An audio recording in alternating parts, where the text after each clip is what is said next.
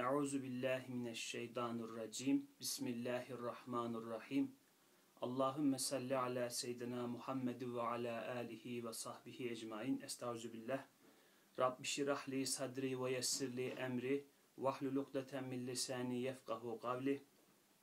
Allahümme enfa'ni bima allemteni ve allimni ma yenfe'uni ve zidni ilmen. Elhamdu ala kulli halin ve euzu billahi min halin ehlin nar. Amin. Allahümme amin. Selamünaleyküm arkadaşlar.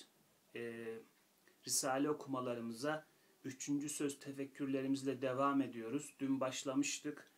Epeyce de bir miktar okumuştuk. Kendimize kıyasla epeyce bir miktar. Çünkü genelde çok yavaş ilerliyoruz. Ama dün her nasıl olmuşsa hızlı ilerledik biraz. Üç paragraf hatta dört paragraf okuduk. O kısmı tekrar bir okuyalım özetle ne anlatıldığı yine hatırımıza gelsin. Sonra bugün tefekkür edeceğimiz kısma gidelim. Bugün özellikle evet her hakiki hasenat gibi cesaretin dahi menba imandır, ubudiyettir cümlesini tefekkür etmek istiyorum sizlerle. Aklıma gelen, kalbime gelen manaları paylaşmak istiyorum. Ee, bakalım neler gelmiş, bakalım ne kadar haklıyım artık siz tartarsınız. Eğer hakikatse kalbinize alırsınız yoksa atarsınız. Ee, üçüncü söz dedik. Estağfirullah. Ya yuhennasu ubudu ayetiyle başlıyor. Bu ayetin tefsirini iç içeriyor. Bu ayetin kısa bir meali şöyle. Ey insanlar ibadet ediniz. Bakara suresinin 21. ayetinden bir ifade bu. Fakat Risale-i Nur'un genelinden biz biliyoruz ki Bediüzzaman Hazretleri bu başlangıç ayetlerini sadece tefsir etmez. Evet tefsirinin bir parçasını bu ayet oluşturur. Fakat Kur'an'ın içindeki ubudiyet manası bu tefsirin tamamına işlemiş gibidir. O manayı bu tefsirin her yanında bulabilirsiniz ve sadece bu ayete değil, ibadetle ilgili her ayete bu pencereden bakabilirsiniz. Bu metnin penceresinden bakabilirsiniz. Ben Risale-i Nur'u hep öyle gördüm. Burada da belki ibadet emreden ayetlerin en zahiri, belki en kısası konulmuş ancak ibadetle ilgili Müslümanın dünyasında olan her şeye bir tefsir var. Kur'an bize ibadet ediniz diye emrettiği zaman veya yine başka bir ayette ben insanları ve cinleri ancak bana ibadet etsinler diye yarattım gibi ayetlerde ne söyleniyor? İbadet etsinler derken ne kastediliyor? Bunun içerisini burada dolduracağız. Ve göreceğiz ki ikinci sözle de bağlayarak e, ibadet insanın fiilini gaybtan haberdar kılmasıdır. Veya ibadet insanın fiilini gayba imanlı kılmasıdır. Gaybı görür kılmasıdır, gözetir kılmasıdır diyeceğiz. Bu nasıl oluyor? Bu niyetle oluyor öncelikle. Amelin kendisi diyelim ki bu ifade pek doğru değil ama nötr bir amel olduğunu düşünelim mesela. İyi de olabilir, kötü de olabilir sonuçları. Böyle bir amel olduğunu düşünelim.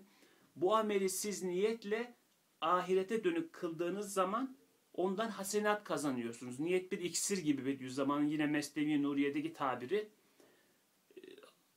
Kötü bir iş gibi gözükebilir ama niyetle o iş hayra dönebilir. Mesela cihat. Cihatta ne oluyor? İnsanlar birbirini öldürüyor yani o bir harp. E, elbette ister istemez kan akacak. O işin gereğinde var o. Ama siz niyetiniz oradan rıza ilahi kazanmak olduğu için ve de o cihat amelini şeriatın içinde tuttuğunuz için o da önemli. Yani şeriatın dairesinde, onun hukuku çerçevesinde tuttuğunuz için cihadınız ibadete dönüşüyor. Neden?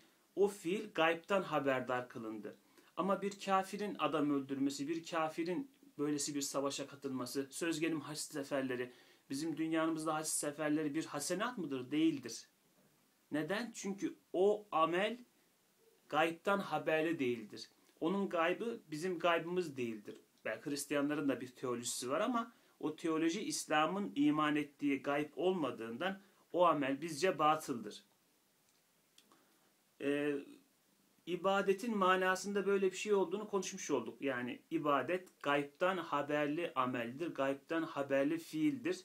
Elbette bunu öncelikle namaz gibi, oruç gibi, zekat gibi, hac gibi İslam'da emredilen, övülen ameller oluşturuyor bunun ilk parçasını. Fakat gündelik yaşamımızda yine bu amellere uymamız çerçevesinde hasenata dönüşebiliyor. Sünnet seneye ittibamız çerçevesinde gündelik işlerimizde hasenata, ibadete dönüşebiliyor dedik. Bu da onların gaybtan haberdar olmasıyla ilgilidir demiştik dün. Ee, zaten mesela sünnet-i seniye de neden adatı ibadete dönüştürür? Bediüzzaman Hazretleri öyle diyor. Sünnet-i seniye ittiba adatı ibadete dönüştürür. Neden? Sünnetin içinde niyet de saklıdır. Yani ayrıca niyet etmenize gerek yok. Bir şeyi sünnet olarak yaptığınız zaman zaten sizin kastınız ondan rıza ilahi kazanmak olur. Bir daha ayrıca niyet etmenize gerek kalmaz. O amelin zaten amacı içinde saklı olur. Böylece adetiniz ibadete dönüşür.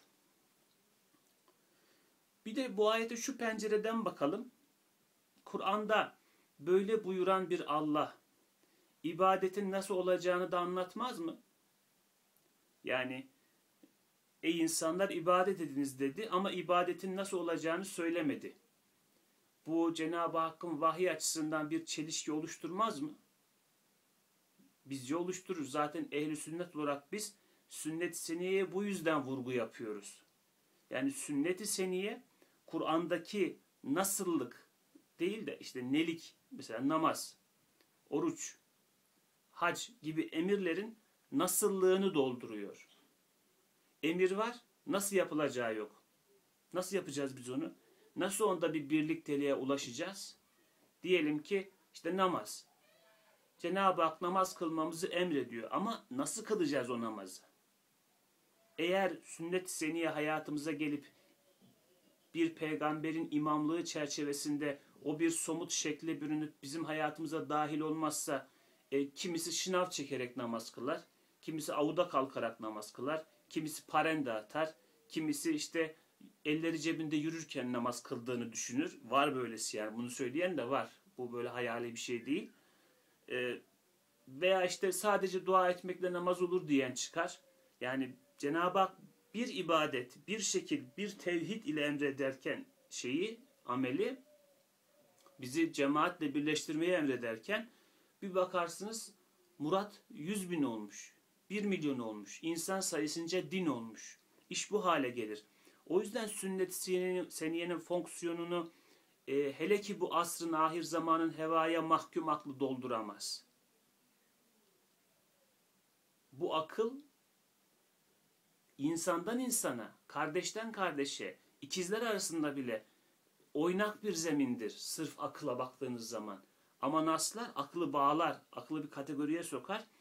O e, şeriatın dairesinde usulle aklettiğiniz zaman da istikamete isabet edersiniz ve sizi birleştirir. Nitekim her ne kadar modernistler mezhepleri işte dindeki farklılıklar, ayrılıklar olarak eleştirseler de aslında mezheplerin teşekkül amacı tevhiddir. Yani ümmeti usuller içinde toplamaktır. Usuller içinde birleştirmektir. Bugün bakıyoruz mezhepleri eleştiren, dört mezhebi eleştiren yani dört tane hak mezhebimiz var. Bu dört tane arasındaki farklılıkları, o da onlar füruatta küçük farklılıklar yani. Yüzde doksanda, seksende mezhepler ittifak eder. Ana esaslarda zaten ittifak halindedirler. O küçücük farklılıkları dillerine dolayanlara bakıyorsunuz kendi aralarında din gibi farklılıklar var. Değil mezhep. Mezhebin farklılığı çok böyle küçüktür. Bunların ikisinin arasında din gibi farklılık var. Söz gelimi Mustafa Öztürk'ün işte hezeyanları ortaya çıktığı zaman onun kankaları onu hemen savundu. İşte Mustafa İslamoğlu'dur, Mehmet Okuyan'dır vesaire zevat. Hemen tabi o işte kendilerine de bir taş geleceğini hissettikleri için çünkü başlık başlıkları bir, ana başlıkları bir yani onların yaptığı işin modernizm, reformizm, bid'a o başlık belli. E ona gelen taş kendilerine de gelir diye hemen müdafaya giriştiler. Halbuki bakıyorsunuz Mustafa Öztürk Kur'an'a peygamber sözü diyor ya. Bundan daha ileri ne olabilir yani? Buna küfür denmez de ne denir? Ama Mustafa İslamoğlu öyle değil ama diyor yine de Mustafa Öztürk şöyle böyle falan. E, ötekine gidiyorsunuz öteki de öyle. E ne oluyor? Hani siz şeydiniz, mezheplere kızıyordunuz bizde farklılık var falan filan diye. E sizin aranızdaki farklılık bizzat kelamullahın şeyine dair, mahiyetine dair yani. Biriniz Allah sözü diyor, diğeriniz Allah sözü değil diyor yani. Şimdi bu mu şey oldu? Hüner oldu. Mezhepler kötü oldu. O küçücük farklılıklar. Hepsinin delilleri olan farklılıklar üstelik. Muradı ilahi, muradı nebevi olan farklılıklar üstelik. Onlar kabahatli oldu. E eh oldu, kötü oldu. Ama sizin o yaptığınız din gibi ayrımlar, ta şeriatın en temel umdelerine kadar giren bozukluklar, onlar şey oldu. Ne bileyim, ne diyelim, övülecek bir şey oldu. Hüner oldu, akıl etmek olduk. Oldu yani böyle. Din dairesinde aklı kullanmak oldu falan. Vay vay vay. Öyle mi? İşte insan hezeyanına her ismi takabiliyor arkadaşlar. Neyse ayet-i kerimenin manasını ve bu gibi ayetlerin manasını bu risalede tefekkür edeceğimizi söylemiş olduk. İbadet etmek nedir? Cenab-ı Hak ibadet edin dediğinde bize ne emretmiş olur? Nasıl bir uyanıştır bu uyanış, ibadet uyanışı, ibadet bakış açısı mümin için ne ifade eder? İşte bu risalede onun dersi var. İlk kısmı yine okuyalım. Sonra asıl tefekkür edeceğimiz kısma geçelim. İbadet ne büyük bir ticaret ve saadet, fısk ve sefahet, ne büyük bir hasaret ve helaket olduğunu anlamak istersen şu temsil hikayeciye bak, dinle. Dün de bir kıyas yapmıştık. Fısk ve sefahetin e, ötekisi, daha doğrusu ötesi, öteki alem bilinci, gayb imanı olmayan amellerden oluştuğunu, ibadetin ise gaybe iman etmiş amellerden oluştuğunu, buradan ayrıldıklarını söylemiştik. Yani şekilleri birbirine benzer olur bazı durumlarda. Fakat e, niyetle içlerindeki ayrım sağlanamadığı zaman bu bir şey ifade etmez. İnsan namaz kılar ama namazı gösteriş için kılarsa o namazdan fayda görmez. İbadet olması için namazın niyetinin rıza ilahi olması lazım. İşte ihlas diyoruz. İhlas nedir? İhlas ameli gayba dair kılmaktır. Bugüne değil, daha kapsamlı bir şekilde düşünmektir. Bir hikaye vardır bilirsiniz. Üç işçi ve bir caminin inşası hikayesi. İşte geliyor usta işçilere soruyor ne yapıyorsun? Birisi diyor ki işte duvar örüyorum. Diğeri diyor ki işte bilmem işte şunu yapıyorum, bunu yapıyorum. Onların bakışları hep kısıtlı. Son bir işçiye geliyor diyor ki sen ne yapıyorsun? Diyor işte alem İslam'ın büyük bir ibadethanesini inşa ediyorum. O işçiyi alıyor, kalfa yapıyor. Niye? Çünkü o adam ne yaptığının farkında. O büyük resmi görmüş. İşte ibadet böyle bir uyanıştır. Bir vakit iki asker uzak bir şehre gitmek için emir alıyorlar. Beraber giderler. Ta yol ikileşir. Bir adam orada bulunur, onlara der. Şu sağdaki yol hiç zararı olmamakla beraber onda giden yolculardan ondan dokuzu büyük kar ve rahat görür. Soldaki yol ise menfaati olmamakla beraber on yolcusundan dokuzu zarar görür. Hem ikisi kısa ve uzunlukta birdirler. Yalnız bir fark var ki intizamsız, hükümetsiz olan sol yolun yolcusu çantasız, silahsız gider. Zahiri bir hiffet, yalancı bir rahatlık görür. İntizamı askeri altındaki sağ yolun yolcusu ise mugaddi hülasalardan dolu dört okkalık bir çanta. Okka yine bir ağırlık birimiydi. Ne, neymiş bakalım. Bir kilo 300 grama yaklaşık bir ağırlık ölçüsüymüş okka. Kıyıya aynıymış.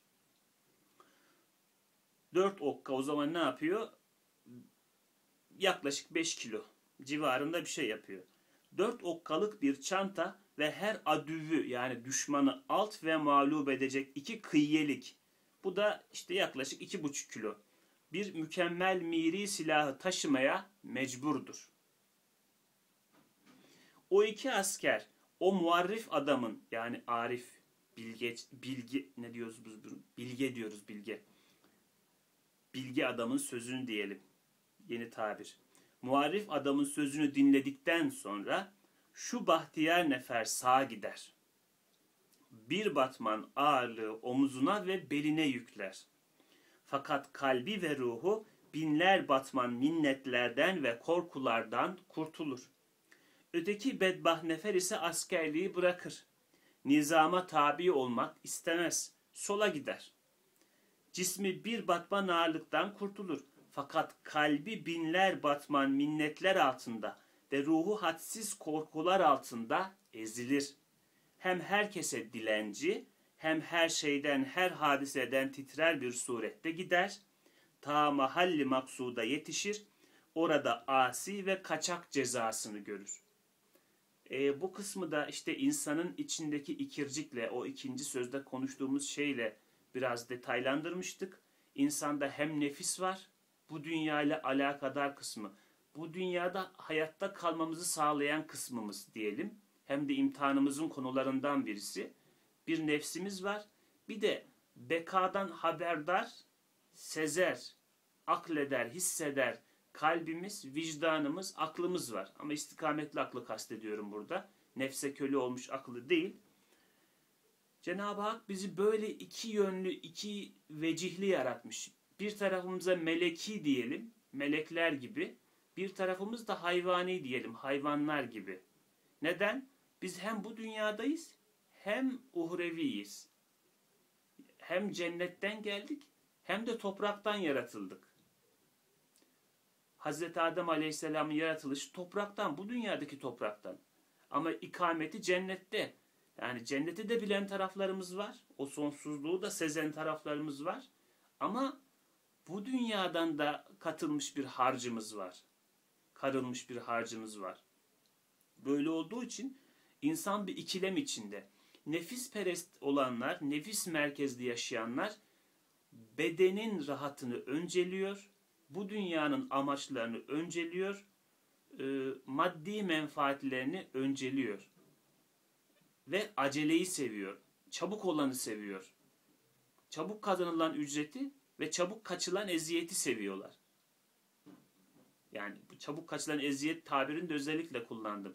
Burada ne yaptı o adam? Yanına bir şey alması lazım ki yolda rahat etsin. İşte bir çanta, besleyici gıdalar olan bir çanta ve bir silah ne olur ne olmaz diye alması lazım. Bakın o eziyetten hemen kaçtı. Fakat o çantayı almamaktan yaşayacağı uzun vadeli eziyetleri üstüne aldı. Yine mesela yolun güvenli olanını terk etti. Uzun vadede lezzetli olandı bu, hoş olandı. Onu terk etti. Ama kısa vadedeki serbestliği, nizamdan çıkmayı kabul etti. Nefis eksenli hayat böyledir. Nefis kısa vadeli düşünür. Özellikle gençleri biz neden çok korkuyoruz yanlış yapma hususunda ya bu gençler, çocuklar yanlışa düşerler falan diye. Hissi dinliyor çünkü akıldan ziyade hissi dinliyorlar. Kısa vadeli düşünüyorlar. Uzunu görmek biraz daha olgunluk isteyen bir şey. Uzun vadeli düşünmek biraz daha olgunluk isteyen bir şey. O ergenlik süreci, ilk gençlik süreci bu nedenle hataya düşmeye müsait zamanlar. O yüzden büyükleri üstlerine titriyor. Aman oğlum hata yapma, aman oğlum şöyle yapma. Lezzetlere, nefsine kapılma. Çünkü nefsin de kapısı ergenlik çağında iyice bir açılıyor. Cenab-ı Hak imtihanı başlatıyor çünkü. O düğme açılıyor yani nefsin düğmesi. Önce şu kadarsa artık bu kadar oluyor düğmenin derecesi. O ilk dönemler hataya kolay düşülebilir dönemler. Kısa vadeliler seçildiğinden dolayı. Sonrası düşünülmeyen şeyler. Mesela adam borç alıyor ama nasıl ödeyeceğim bu borcu? Düşünmüyor. Adam gidiyor cinayet işliyor ama ne kadar yatacağım, hapiste neler yaşayacağım düşünmüyor. Bir, bir öfke anında bir suça giriyor veya bir heves anında bir suça giriyor. Onun bedeli ne olur düşünmüyor. Hesap etmiyor. Bu işte nefis merkezli. O iki, evet bu kısmı okuduk. Askerlik nizamını seven, çanta ve silahını muhafaza eden ve sağa giden nefer ise kimseden minnet almayarak, kimseden havf etmeyerek, korkmuyor yani. Rahatı kalp ve vicdan ile gider. Ta o matlup şehre yetişir, orada vazifesini güzelce yapan bir namuslu askere münasip bir mükafat görür. İbadet de böyle bir şey katıyor insanın dünyasına. İşte o çanta ve o silah gibi. Gerçi aşağıda gördük onu çantaya ibadet silaha takva dedi. Onu da konuştuk niye o silah, o niye takva diye. Ama e, hakikaten ibadetin yaşam anlamını hayata katmasıyla, itikadı amele dönüştürmesiyle, imanı dünyaya dahil etmesiyle, nefsi hayata, dünyevi hayata dahil etmesiyle insanı pervasız kılan bir yanı var. Biz biliyoruz ki bizim rızkımızı veren Allah'tır. Müslümanlar böyle inanıyor. Eğer bu iman bizde olmasaydı rızkın tamamen sebeplere bağlı, e, birilerinin mesela işverenlerin elini açmasına bağlı, patronlara muhtaç, devlete muhtaç, toprağa, e, yağmura muhtaç, sadece bunlarla ilgili bir şey olduğunu düşünseydik, ne olurdu? Her biri bizim efendimiz olurdu. Her birine ayrı ayrı tabiri caizse dua etmemiz gerekirdi. Yalakalık etmemiz gerekirdi. Kalplerini kazanmaya çalışmamız gerekirdi. Korkularını çekmemiz gerekirdi. Ee, ama bir Müslüman tabii ki de amelinde tam olgunluğa ermiş, itikadında tam kemale ulaşmış bir Müslüman böyle korkuları çekmiyor. Diyor ki ya rızkımı veren hüdadır diyor. Kula minnet etmem diyor. Ha işte işleri mi kötü gitti? Cenab-ı Hak diyor başka bir kapı açar diyor. Veya işte başına kötü bir şey mi geldi? Allah Rahmandır diyor. Bundan da bir çıkış gösterir diyor. Hikmetin anlayamadığı bir şey oldu mesela. Ya Allah hakimdir diyor. Ben şimdi bunu çözemedim ama bu diyor kesin bir anlamı vardır. Yani bir tür daha önce de konuştuk bu bir ön hekimlik gibi. Koruyucu hekimlik, psikolojik ama. Bize gelen saldırıları ya da saldırı olabilecek şeyleri, hadiseleri bir ön hekimlikle, koruyucu psikolojiyle biz absorbe ediyoruz. Onların sert darbelerini almıyoruz. Onları yumuşatıyoruz. Bu anlamlar sayesinde. İbadet de işte bunun hayata katılması. Şimdi günde beş vakit namaz kılan adam mı Allah'ın ismi şerifini dünyaya dahil etmeye daha yatkındır? Kılmayan mı? Elbette kılan çünkü talim yapıyor. Zaten günde beş vakit Allah'ı hatırlıyor. Yaşadığı olayda hatırlaması da kolaylaşıyor. Namaz bir idman gibi. Oruç mesela açlık, yoksunluk, yoksulluk bunlar başa gelecek şeyler mi? Olabilir. Hayatın bin türlü hali var. Oruç tutan insan bunlara talimli oluyor. Açlığın Allah'tan gelebileceğine, olabileceğine bir hikmet gereği vücudunu alıştırmış oluyor. Şimdi bu talimi yapan mı böylesi bir yoksunluk, yoksulluk anında daha iyi direnç gösterir, daha dayanıklı bir psikolojiyle durur, sarsıntı geçirmez? Yoksa bunu yapmayan mı? Elbette yapan daha iyi direnir. Daha olgun bir duruş sergiler. O yüzden ibadetin işte itikadı, bunu dün de söyledik. İbadetin itikadı, inandığımız hayatı, inandığımız gaybı, gündelik yaşamımıza sokan, dahil eden, alıştıran, manalarını tekrar tekrar dünyamıza sokarak bir talimle bizi refleks halinde onları savunur, tutar, korur, e, inanır kılan bir yanı var. Rahatı kalp ve vicdan ile gider. Ta o matlup şehre yetişir, orada vazifesini güzelce yapan bir namuslu askere münasip bir mükafat görür. Evet. İşte ey nefsi serkeş, bil ki o iki yolcu biri muti kanunu ilahi yani Cenab-ı Hakk'ın kanunlarına boyun eğen, birisi de asi ve hevaya tabi insanlardır. Yani hevasının, hislerinin, arzularının peşinden koşuyor. O yol ise hayat yoludur ki alemi ervahtan, ruhlar aleminden gelip kabirden geçer, ahirete gider. O çanta ve silah ise ibadet ve takvadır. Yukarıda ibadetin şeyini konuştuk. Takvanın silah olduğunu da dün konuşmuştuk. Kısaca söylersek takva hem bizi düşmanlarımıza karşı korur hem de düşmanlarımıza bizi anlatır. Takva sahibi olmak aynı zamanda tebliğdir dedik. Düşmanlarımıza bizim korkumuzu da verir. Hani o Kur'an'da geçen ayeti kerime var. Bedri Sura'da ol diyorlar o işte Uhud Harbi'nden e, Uhud Harbi sırasında Müslümanlar tepeye çekilmişti biliyorsunuz. Dağa çekilmişti Uhud'a. Ee, Ebu Sufyan'la Efendimiz Aleyhisselatü Vesselam sözleştiler. Bir sene sonra Bedir'de tekrar buluşup harp etmek üzerine. Müslümanlar Oraya gidecekti hazırlandılar. Ebu Süfyan korktu. Ee, oraya gitmekten korktu. Müslümanlara da böyle şey yapmak istedi. Yani onlar da korksun gelmesinler diye böyle haber yaydırmak istedi. İşte büyük ordu topladılar sakın gitmeyin falan filan diye münafıklarla yaygara koparmak istedi. Müslümanlar ne dedi diyor Kur'an? Onlara düşmanları size karşı büyük bir ordu toplandı dediği zaman onlar dediler ki cesaretleri arttı diyor. Onlar dediler ki Allah bize yeter. O ne güzel vekildir. Hasbunallah ve ni'mel vekil. Yani korkmak bir tarafa cesaretleri arttı diyor bundan. Hani onun şey gibi görüyorlar. Daha büyük bir zafer kazanacağız. O kadar emniyet içindeler yani.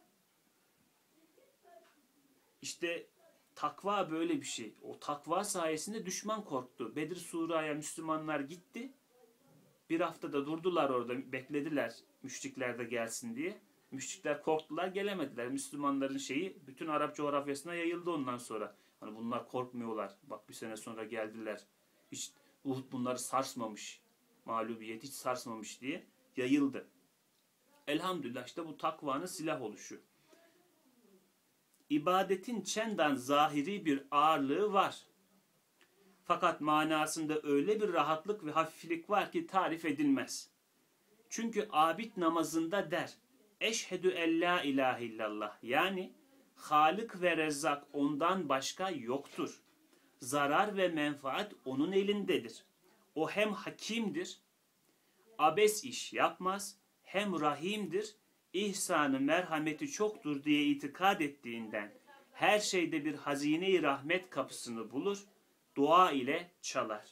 Hem her şeyi kendi Rabbisinin emrine musahhar görür, Rabbisine iltica eder, tevekkül ile istinad edip her musibete karşı tahassün eder, imanı ona bir emniyeti tamme verir. Yani tam bir güvenlik hissi verir dedik.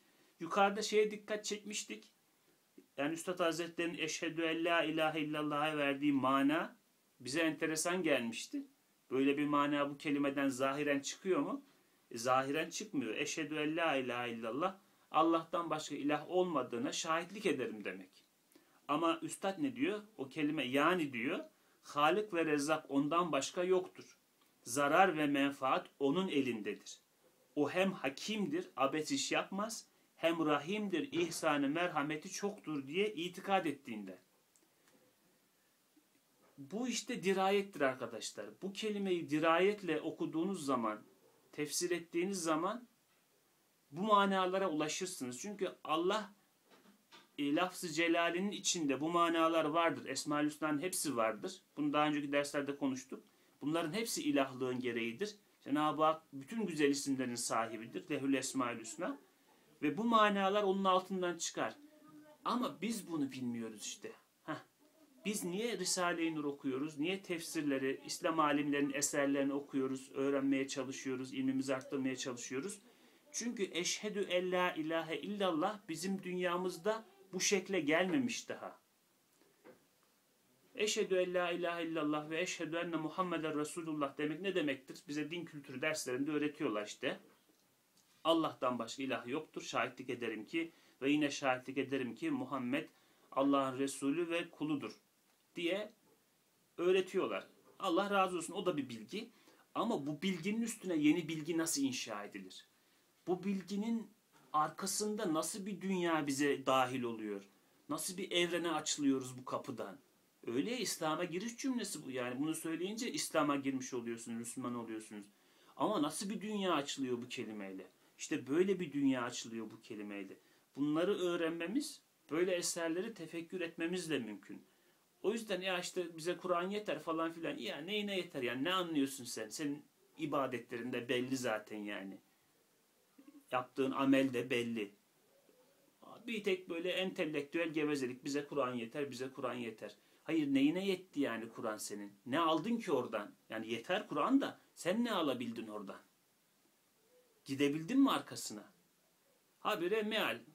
Fırlata fırlata meal konuşuyorsunuz. Ondan bir ahlak, bir terbiye, bir efendim edep, hele ki edep aldığınız var mı yani? Bir tereddüt aldığınız var mı? Yok. Size ancak rahatlık geliyor böyle. Meal konuştukça rahatlık geliyor. Sanki ehli sünnet Müslümanlar 14 asırdır yanlış da bir tek siz doğrudasınız şimdi. 14 asır sonra geldiniz. Ahir zamanın zıp çıktıları. Sizin gözünüz açık. Herkesin gözü kapalıydı yani. Tamamen şey, yüzeysellik. Kolaylık, tembellik, tembellik. Başka bir şey değil. Kur'an Müslümanlığı tembel Müslümanlık. İşte Müslümanlığı da biz genel şey olarak kullanıyoruz. Hüsnü olarak. Evet, zarar ve menfaat onun elindedir. O hem hakimdir, abes iş yapmaz, hem rahimdir, ihsanı merhameti çoktur. Valla biraz fazla kaçırdık, kabul ediyorum. Ee, izah yapmamalıydık belki ama şimdi asıl izah edeceğimiz yere geliyoruz. İnşallah burada yine mesafe alırız. Evet, her hakiki hasenat gibi cesaretin dahi menba imandır, ubudiyettir. Her seyyiat gibi kötülük gibi yani cebanetin yani korkaklığın dahi menba dalalettir.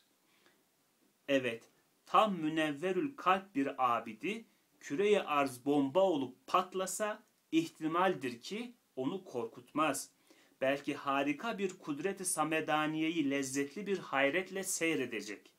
Fakat meşhur bir münevverül akıl denilen kalpsiz bir fasık feylesof ise münevverül akıl yani aklı aydınlanmış, aydın bu zamanki tabiriyle. Aydın evet en doğru tabir bu oldu. Fakat meşhur bir münevverül akıl denilen kalpsiz bir fasık filosof ise gökte bir kuyruklu yıldızı görse yerde titrer. Acaba bu serseri yıldız arzımıza çarpmasın mı? der, evhama düşer. Bir parantez için not. Bir vakit böyle bir yıldızdan koca Amerika titredi çokları gece vakti hanelerini terk ettiler. Bu yaşanmış bir olay. Bugün de bu konuda çok film var Amerika'da veya başka ülkelerde. Ee, korku sürüyor yani. Ama bir Müslüman için bu nedir ki bu olay? Elbette Müslüman da hiç korkmaz demeyelim ama en azından Müslüman onun büyük resimde nereye denk geldiğini biliyor. Yani Cenab-ı Hak kıyameti koparacak arkadaş biz buna iman ediyoruz zaten. Bu olacak. Bunun kaçınılmazlığı kabulümüz. Artık buna iman ettikten sonra bunun şekli nasıl olacak? Bu bizimle ilgili bir iş değil ki. Mülk onun. istediği gibi başlattı, istediği gibi de bitirecek.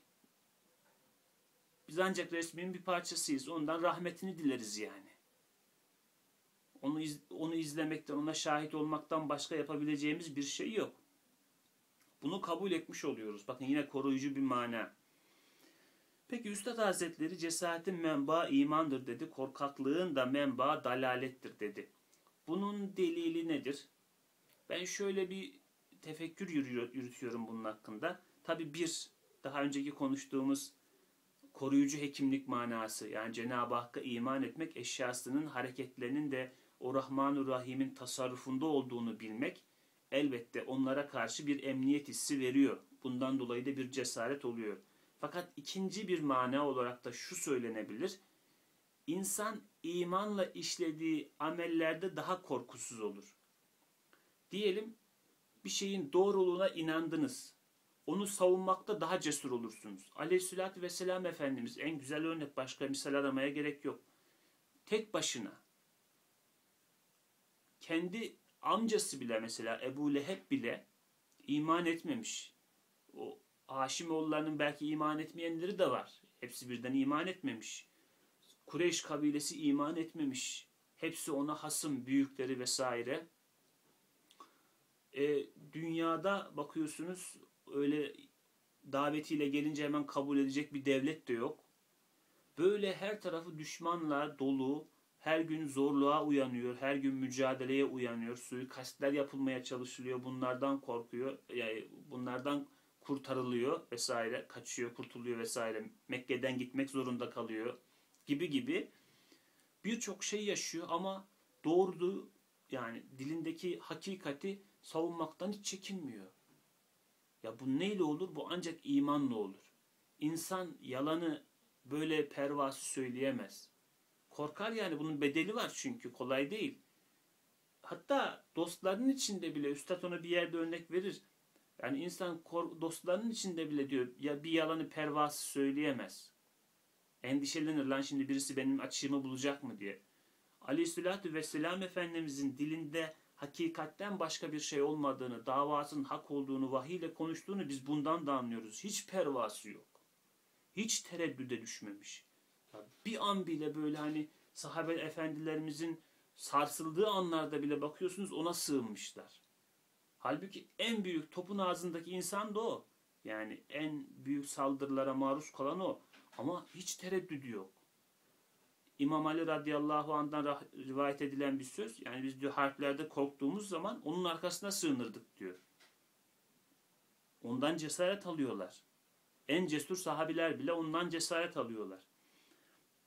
Bu durum işte inanmaktan geliyor. İnanırsak cesur oluruz. Bugünümüze gelelim.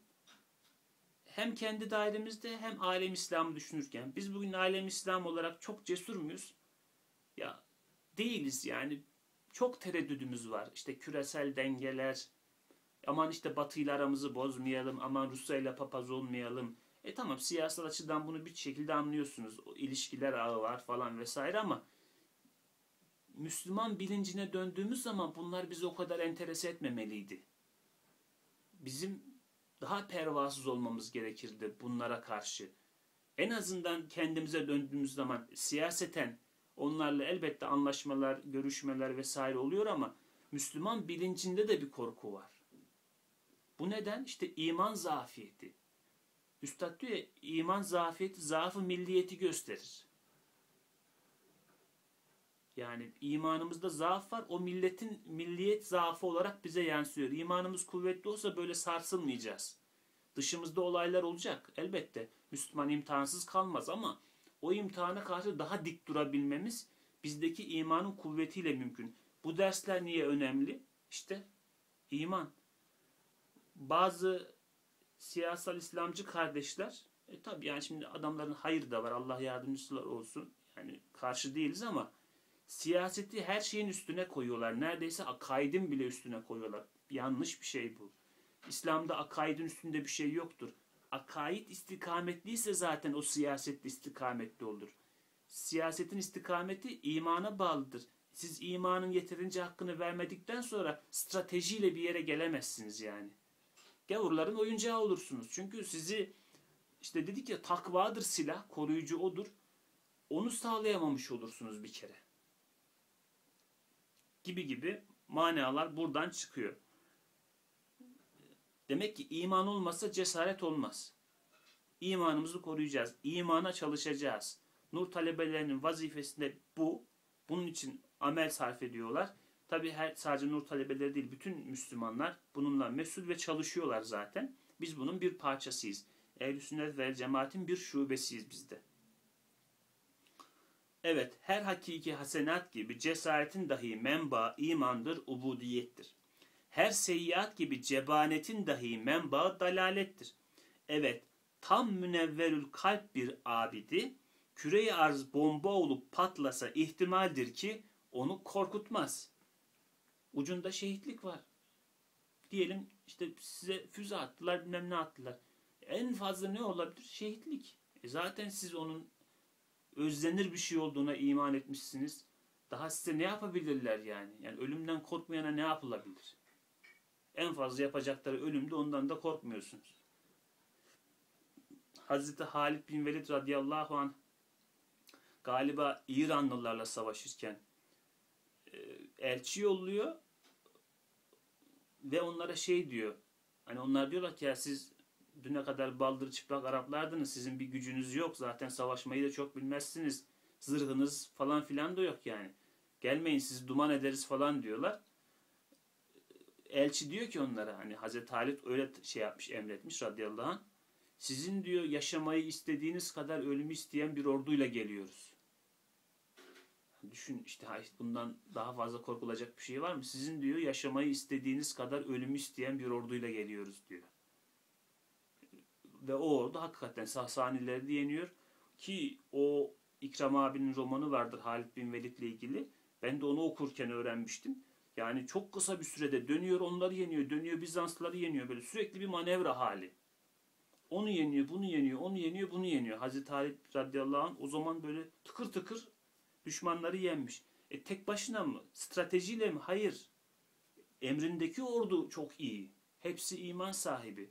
Sadece komutanla olmaz bu iş. Sadece orduyla da olmaz. Cenab-ı Hak o zaman parçaları bir araya getirmiş. Bugün biz de bir siyasetçiye, bir partiye, şuya buya bağlamayalım her şeyi. Sadece onunla olmaz, sadece stratejiyle olmaz.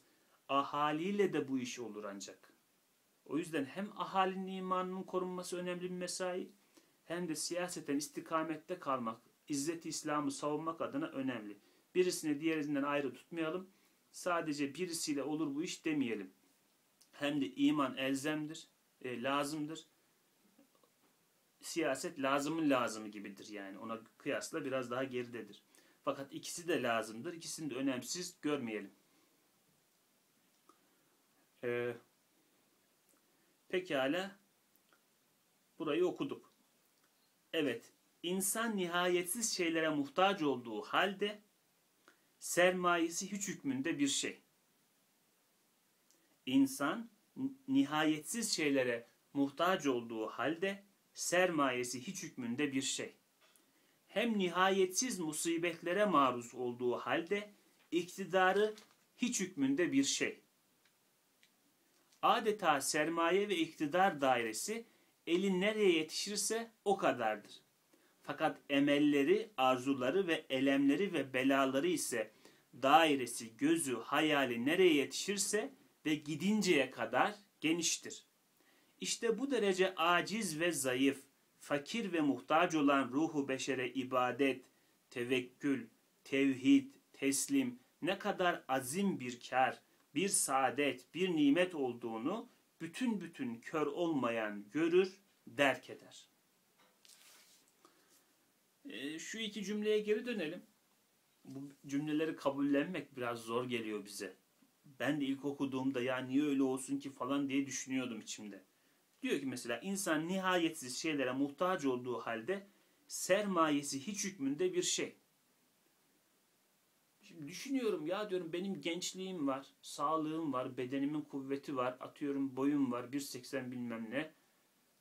Ee,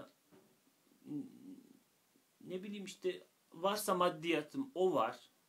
Bunlar da benim sermayem diye düşünüyorum. Yani bunlar hiç de sayılmaz. Bana hayatta bir şeyleri getirebilir gibi düşünüyorum. Ama e, Bediüzzaman'ın baktığı yerden bakmadığını düşün, gördüm daha sonra. Bediüzzaman Hazretleri daha geriden bir yerden bakıyor olaya. Ve bunu da şöyle bir tefekkürle yakalayabiliyorum. Şimdi bu bende olanlar bende asıl mı, zati mi, arızi mi? Bunu daha önce de tefekkür ettik. Yani alınsalar geri yaratabilir miyim ben bunları? Asıl mevzu bu. Eğer bunlar sahiden benim sermayemse benim onları hiç yitirmiyor olmam lazım. İşte o su örneğiyle anlattık bunu bir kere. Bez ıslaktır. Diğer bez işte daha ıslaktır. Üçüncü bez ıslaktır. Ama su ne kadar ıslaktır? Suya ne kadar ıslak diye sorulmaz. Çünkü ıslaklık suyun zatından gibidir yani. La teşbih ve la temsil. Suya ne kadar ıslaktır diye sorulmaz. Su sonsuz ıslaktır. Onun ıslaklığı ondan alınmaz. O yok olursa ıslaklık da yok olur.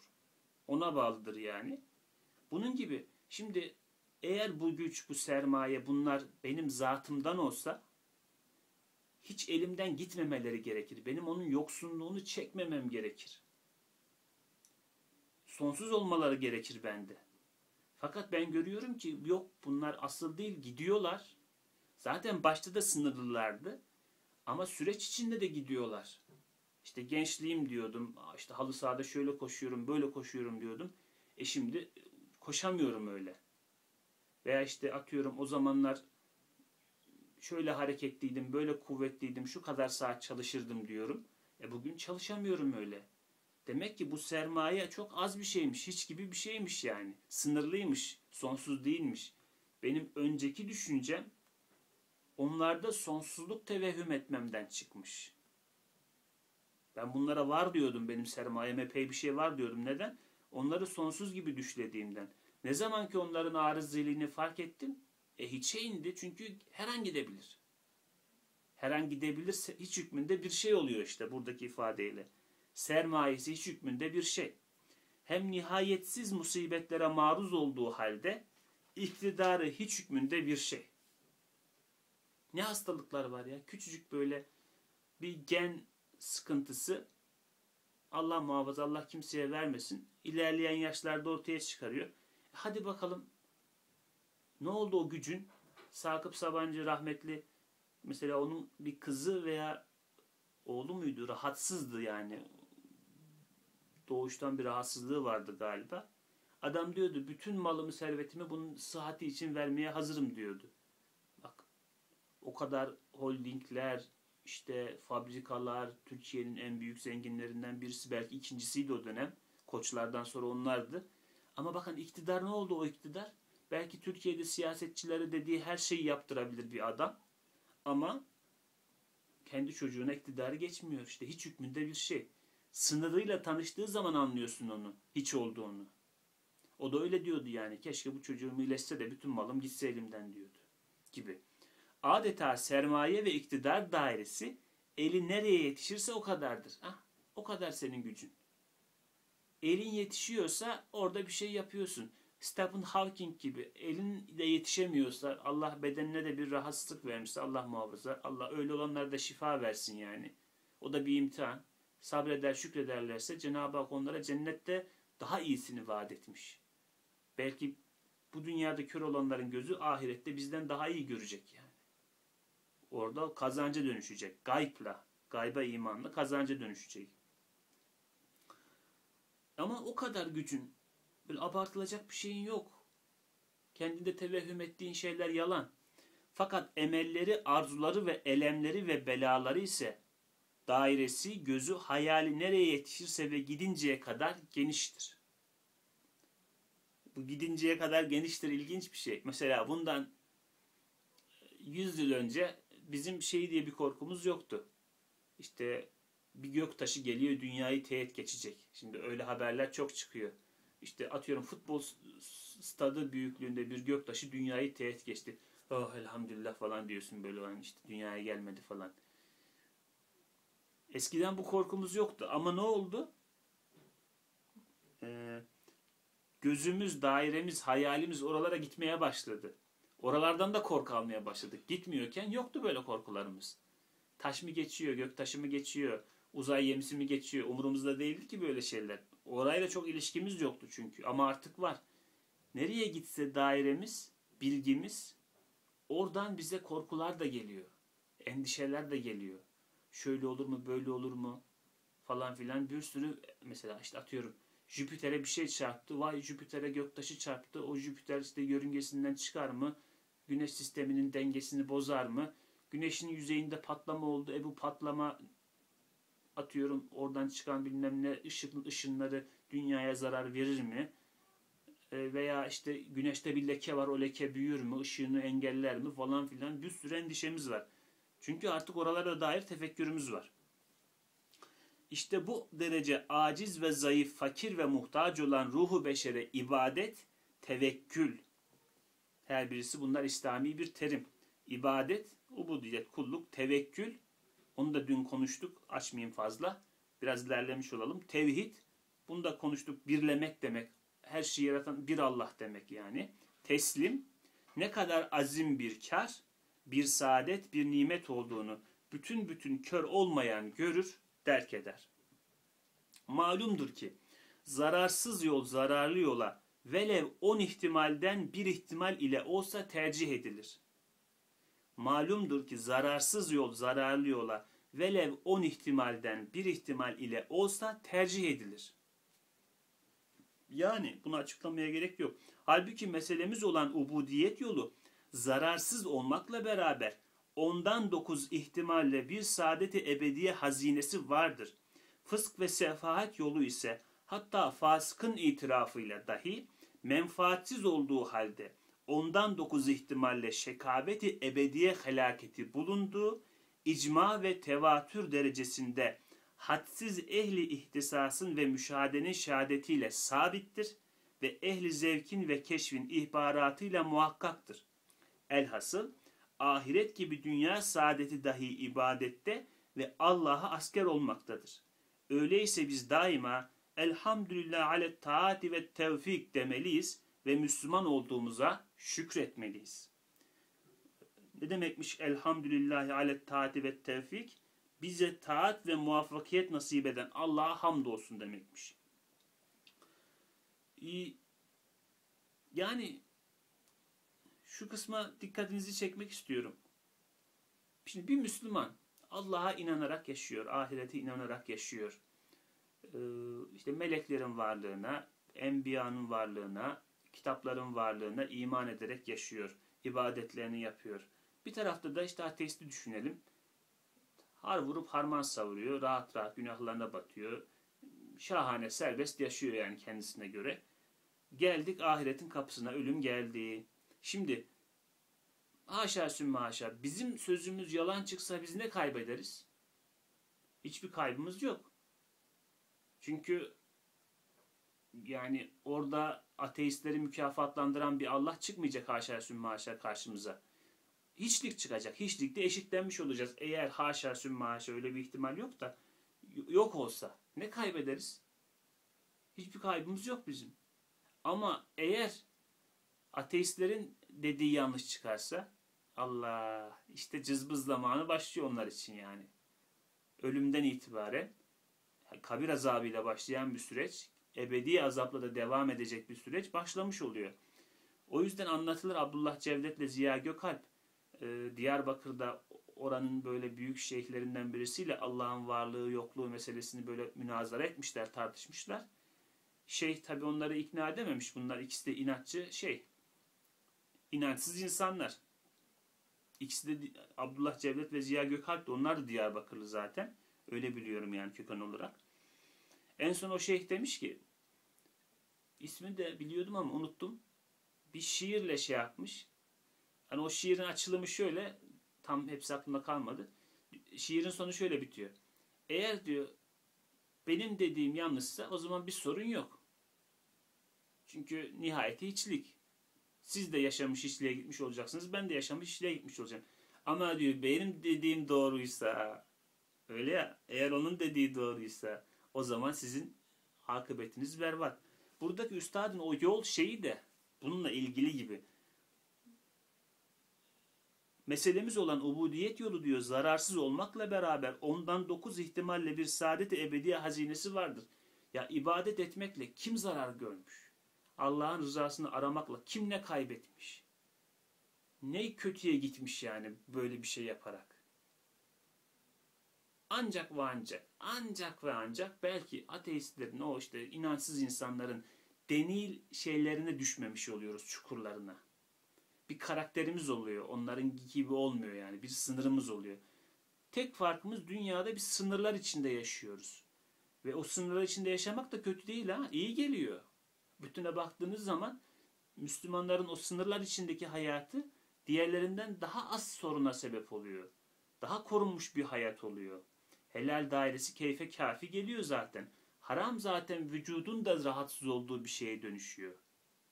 Şimdi Müslümanlar içki içmiyor. Öbürler içebiliyor. E içtiniz de ne oldu yani? Hangi saadete erdiniz? Çok mu bedeninize iyi geldi? Yani çok mu böyle atıyorum hayata faydası oldu? İçki içenler çok mu böyle şey yaşadılar? Mükemmel ötesi yaşadılar? Yok. İşte bakıyorsunuz kazaların çoğu alkollü araç kullanmaktan, karaciğer rahatsızlıkların çoğu alkol kullanmaktan. Daha bunun gibi yani bir sürü zararı var dolaylı yoldan sebep oldu zaten gırla şey var. Hadise var. Adam içiyor, akrabalarıyla, dostlarıyla kavga ediyor düğünde müğünde. Çekiyorlar silahları dan dan dan. Niye aklını şey yapıyorsun ki selbediyorsun? Ne gereği var? Yani sen şimdi öyle serbest yazadın, yaşadığında daha mı ileri gittin bizden? Yok aşağı indin ya. Aşağı indin. Hayvanlaştın. Sınır içinde yaşamak insaniyetin gereğiydi çünkü. Evet. Hatta fasıkın itirafıyla dahi menfaatsiz olduğu halde değil mi? İşte böyle uyuşturucuyu bırakanlar veya işte alkol alkolizmden kurtulup alkoliklikten kurtulup ıı, tedavi olanlar falan anlatıyorlar o süreci. Adamlar hakikaten ne direklerden dönmüş oluyorlar. Menfaatsiz olduğu halde fısk ve sefaat yoluysa hatta fasıkın itirafıyla dahi günahkar bile itiraf ediyor ki menfaatsiz olduğu halde ondan dokuz ihtimalle şekaveti ebediye, sonsuz şekavet, sonsuz şikayet, sonsuz ne diyelim şekavet kelimesine buradan ne vermiş? Sıkıntı, mutsuzluk yani. Helaket şekaveti ebediye helaketi bulunduğu icma ve tevatür derecesinde hadsiz ehli ihtisasın ve müşahedenin şehadetiyle sabittir. Ve ehli zevkin ve keşfin ihbaratıyla muhakkaktır. Hem peygamberler hem evliyalar e, yani büyük insanlar hep bunu haber vermişler. Ya bu yol iyi bir yol değil yani. Böyle yaşayan insan ahirette azabını çekiyor. Hem kabirde hem ahirette. Elhasıl ahiret gibi dünya saadeti dahi ibadette ve Allah'a asker olmaktadır. Ahiret gibi dünya saadeti dahi ibadette ve Allah'a asker olmaktadır. Yine mühim bir sır var burada. Biz cennetimizi sadece ahirette değil dünyada da yaşıyoruz. Saadet imandadır. Camilerimizde çok yazar. Bu hakikattir. O çerçeve içinde yaşamak, bir ahlakla yaşamak, karakterle yaşamak, sınırlarla yaşamak, dünyayı da cennete kalbediyor. Onun olmadığı yer cehenneme dönüşüyor. Cehennemdir, kaos gibi bir şeydir yani. Dünya saadeti dahi ibadette ve Allah'a asker olmaktadır. Öyleyse biz daima elhamdülillahi alet taati ve tevfik demeliyiz ve Müslüman olduğumuza şükretmeliyiz. Elhamdülillah, elhamdülillah, elhamdülillah. Cenab-ı Hakk'a hamdü senalar olsun ki bizi bu dinin içinde yarattı. Bu dinin kıymetinden de haberdar etti. Bunların hepsi ayrı ayrı nimetler. Cenab-ı Hak hamdü senalar olsun. Daha fazlasına inşallah bizi eriştirsin, bahşetsin, lütfetsin. Bunlar hep onun bahşiyle, hidayetiyle. Dilenmeliyiz yani bundan çekinilmez. Cenab-ı Hak'tan hidayetini dilemek lazım. Her şeyle ilgisi var bunun. Sadece bize işte din kültürü derslerinde öğretildiği gibi resmi bir vazife değil Müslümanlık. Bütün detaylara işliyor. Her şeyle muhatabiyetimize tesir ediyor. Bir yerden bir damlacık hidayet aldığınızda, bir doğruyu gördüğünüzde onun hayatınızın her tarafına yansıması oluyor. O yüzden bunları hep dilenmek lazım, hep istemek lazım. Cenab-ı Hak'tan dilenen pişman olmaz. Cenab-ı Hak'tan dilenmekle böyle şey olunmaz yani. Nasıl derler? Bu insanı aşağı düşüren bir şey değildir. Bundan utanılmaz. Cenab-ı Hak'tan dilenmektir büyüklük. Küçüklüğünün idrakinde olmak büyüklüktür. E, küçüğün idrakliği, idraki böyle olur. Çocuk mesela ebeveyninin karşısındaki kemali kendini büyük gibi davranması, büyüklük taslaması değildir. Çocuğun kemali çocukluğunu bilmesidir. Çocukluğunu bilirse dersiniz ki ya ne güzel çocuk bu, edepli mesela işte yerini biliyor, babasının sözünün üstüne çıkmıyor, arsızlık etmiyor vesaire. Küçüklüğünün kendini bilmesi, yani küçüğün kendini bilmesi, küçüklüğünü bilmesi onun kemalidir. Bizim de işte duamız, dilenciliğimiz, Cenab-ı Hak'tan isteyişimiz kendi küçüklüğümüzün idrakidir.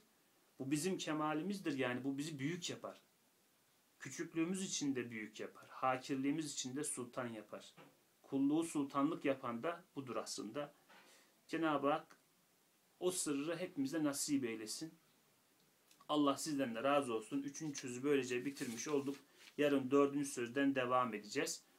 Ee, gerçi süremizi geçtik ama son bir şey daha söylemek istiyorum. Çünkü aklıma geldi. Bir dahaki ders belki unuturum. Şimdi Bismillah'ta birinci sözde şey vardı hatırlarsınız. Kainatta Allah tefekkürü vardı. Özellikle o ikinci kısımda mahlukatın lisanı hal ile Bismillah dediğini nereden biliyoruz? Sualin cevabı olarak işte hayvanlardan, ağaçlardan, köklerden, yapraklardan bir tefekkürle varlığın da Allah ile hareket ettiğini anlamıştık. Varlık tefekküründe bulunmuştuk. Varlık tefekküründe bulunduktan sonra varlıktaki bu idrak bizi ikinci sözde imana götürdü. İmanın güzelliğini konuştuk. Üçüncü sözde ibadetin gerekliliğini konuştuk. Bakınız nasıl bir üstadın sistem var kafasında. Kainatta Allah'ın varlığını idraki, sonrasında imanın güzelliği. Çünkü varlığın bu, bu ne üzerine olduğunu anladık. Oradan da bir iman şeyi geldi bize. Doğruluğuna taraftarlık, bizim cüz-i ihtiyarımızı sarf etmemiz de kalbimizde yakılan onur, onun zamanı geldi. Üçüncü sözde de o imanın gereğini hayata sokmak geldi. Dördüncü söz namaz üzerine olacak. Bakın ibadet, namaz. Böyle sanki yine o 14. lemanın ikinci makamında anlatıldığı gibi buradan daireden daireye, özele doğru, Allah'tan rahime doğru iniyor gibiyiz sanki. Aynı o iniş burada da var. Bu küçük sözlerde de böyle bir sır var gibi. Dördüncü sözde inşallah namazı konuşmak üzere. Allah'a emanet olun. Subhaneke la ilme lena illa ma allamtena inneke entel alimul hakim ve ahru da'vahum elhamdülillahi rabbil alemin. El Fatiha.